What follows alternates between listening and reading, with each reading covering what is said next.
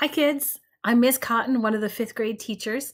Today, I want to show you how to log into your Google Classroom for the first time and add that if you haven't already done so.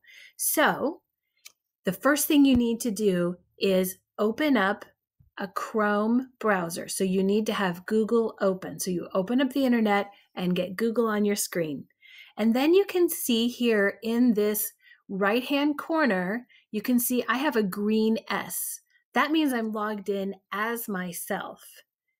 You need to make sure you are also logged in as yourself. No person who has not been made part of our class can ever log into our Google Classroom. It is safe and secure. That means your parents can't log in, your big brother or sister can't log in. So you need to log in as yourself. I'm actually going to log out because I want to log in as my son and I want to, uh, that'll show you what it looks like for students. So I'm going to click here on the S. And if somebody else is logged in, you will do the same thing. And then you want to choose which account you are going to log in with. And I'm going to log in as my son, Nate. And now I'm logged in as my son, Nate. And you see, this is his funny little icon here. So when you know you are logged in as yourself, it'll show your icon or your initial, whatever you've, however you have set that up. Then right next to that is the little waffle. Click on the waffle and you'll see the classroom icon comes up.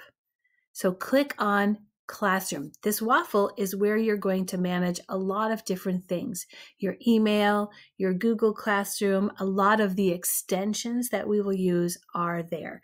You can see my son is going into seventh grade, so he has a bunch of classrooms already installed.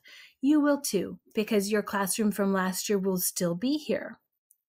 What you're going to do to add a new classroom is go to the plus icon in the right hand corner. So everything you're doing is up in the right hand corner right now. So you click on that plus and you double check and make sure you are logged in as yourself. So you get your class code from your teacher. This is my class code. So if you're not in my class, don't input it.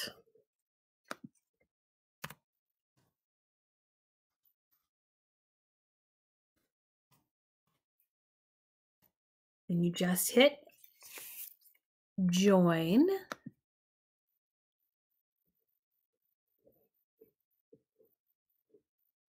And voila! Here is our class homepage. That's it. So that's how you join a google classroom. Thanks for watching